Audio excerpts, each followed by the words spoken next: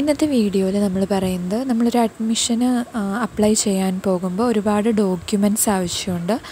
അത് ഏതൊക്കെയാണെന്നുള്ളത് നോക്കാം. ഇപ്പോൾ S S L C plus two result announce ചെയ്തതിന് ശേഷം ഒരുപാട് ഡിഗ്രി ഒരുപാട് എൻട്രൻസിനൊക്കെ അപ്ലൈ ചെയ്യേണ്ട സമയമാണ്. എല്ലാ യൂണിവേഴ്സിറ്റീസും അഡ്മിഷന് ഇൻവൈറ്റ് ചെയ്തിട്ടുണ്ട്. അപ്പോൾ കോമൺ ആയിട്ട് വേണ്ട കുറച്ച് ഡോക്യുമെന്റ്സ് ഉണ്ട്. നമ്മളത് എല്ലാം സെറ്റ് ചെയ്ത് വെച്ചതിന് ശേഷം മാത്രം അപ്ലൈ ചെയ്യാനിരിക്കുന്നതായിരിക്കും നല്ലത്. ഇപ്പോൾ കൊറോണ പാൻഡമിക് സിറ്റുവേഷൻ ആയതുകൊണ്ട് തന്നെ ഓൺലൈനായിട്ടാണ് എല്ലാത്തിന്റെയും സ്കാൻഡ് കോപ്പിയൊക്കെയാണ് അപ്ലോഡ് ചെയ്യേണ്ടത്. എന്നിരുന്നാലും നിങ്ങളുടെ അഡ്മിഷൻ ടൈമിൽ അതിന്റെ ഒറിജിനൽസ് പ്രൊഡ്യൂസ് ചെയ്യേണ്ടതായിട്ട് അപ്പോൾ ഇതിൽ ചില സർട്ടിഫിക്കറ്റ്സ് വില്ലേജിൽ നിന്നൊക്കെ കളക്ട് ചെയ്യാൻ ഉള്ളതാണ്. അപ്പോൾ അതിന് ടൈം എടുക്കും. അതായത് വൺ വീക്ക് ടു ടു വീക്കൊക്കെ ടൈം എടുക്കാറുണ്ട്. അപ്പോൾ ആ ഒരു സമയത്തെ റഷ് ഒഴിവാക്കാൻ വേണ്ടിയിട്ട് നമ്മളത് മുന്നേ തന്നെ കളക്ട് ചെയ്ത് വെക്കുന്നത് നന്നായിരിക്കും. ഫസ്റ്റ് ഓഫ് ഓൾ നിങ്ങളുടെ ഒരു റീസെന്റ് പാസ്പോർട്ട് സൈസ് ഫോട്ടോ ആണ് വേണ്ടത്. അത് ഒരു ഫൈവ് ടു ടെൻ ഒരു പത്ത് എണ്ണമൊക്കെ എടുത്ത് വെക്കുന്നത് നന്നായിരിക്കും. കാരണം ഡിഫറെന്റ് ഇൻസ്റ്റിറ്റ്യൂഷൻസിലും എല്ലായിടത്തും അപ്ലൈ ചെയ്യുമ്പോൾ ഒരുപാട് എണ്ണം ആവശ്യമായിട്ട് വരും.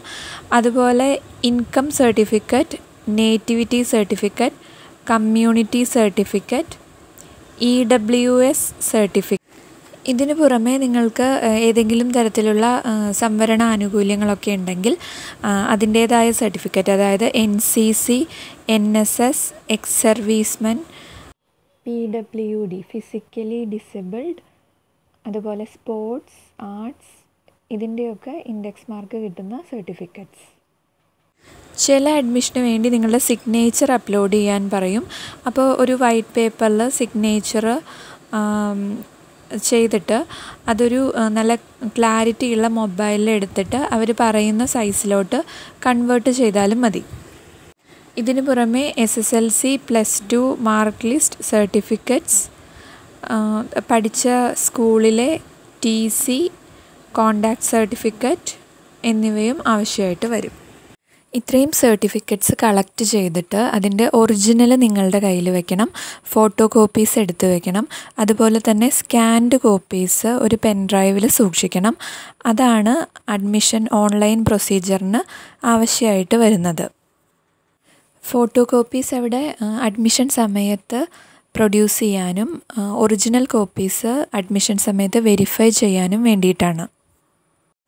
അപ്പോൾ ഓൺലൈൻ സബ്മിഷന് വേണ്ട സ്കാൻഡ് കോപ്പീസ് എല്ലാം ഓക്കെ ആക്കി വെച്ചതിന് ശേഷം മാത്രം നിങ്ങൾ ആപ്ലിക്കേഷൻ പ്രൊസീജിയറിന് വേണ്ടി ഇരിക്കുക അങ്ങനെയാണെങ്കിൽ നിങ്ങൾക്ക് പെട്ടെന്ന് തന്നെ ഒരു ഫൈവ് ടു ടെൻ മിനിറ്റ്സിനുള്ളിൽ കംപ്ലീറ്റ് ചെയ്യാൻ പറ്റും.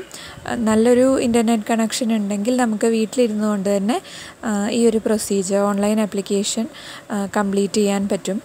അപ്പോൾ ഡിഗ്രി അഡ്മിഷൻസ് ഒക്കെ വരുന്നത് ഈ ഒരു വൺ ടു വീക്സിലാണ് അതായത് എല്ലാ ഓട്ടോണോമസ് കോളേജുകളും നാല് യൂണിവേഴ്സിറ്റി അതുപോലെ ഒരുപാട് കേരളത്തിന് പുറത്തുള്ള യൂണിവേഴ്സിറ്റീസും അതുകൂടാതെ professional course like L L B M B A അങ്ങനെയുള്ള കോഴ്സുകൾക്കൊക്കെ ഇപ്പോഴാണ് അപ്ലിക്കേഷൻ ഇൻവൈറ്റ് ചെയ്തേക്കുന്നത്. ഈ ഒരു സിറ്റുവേഷനിൽ എല്ലാം ഓൺലൈൻ ആപ്ലിക്കേഷനാണ് അപ്പോൾ നിങ്ങൾ ഇത് കോമൺ ആയിട്ട് ഈ എല്ലാതിന്റെയും സ്കാൻഡ് കോപ്പി നിങ്ങളുടെ കയ്യിലുണ്ടെങ്കിൽ എല്ലാത്തിനും നിങ്ങൾക്ക് അപ്ലൈ ചെയ്യാം. ഈ ഒരു വീഡിയോ നിങ്ങൾക്ക് ഹെൽപ്ഫുള്ളായെങ്കിൽ വീഡിയോ ഒന്ന് ലൈക്ക് ചെയ്യുക ഷെയർ ചെയ്യുക. പിന്നെ ഇതുപോലുള്ള കൂടുതൽ അപ്ഡേറ്റ്സിനായിട്ട് ഈ ചാനലൊന്ന് സബ്സ്ക്രൈബ് ചെയ്യുക. Thank you.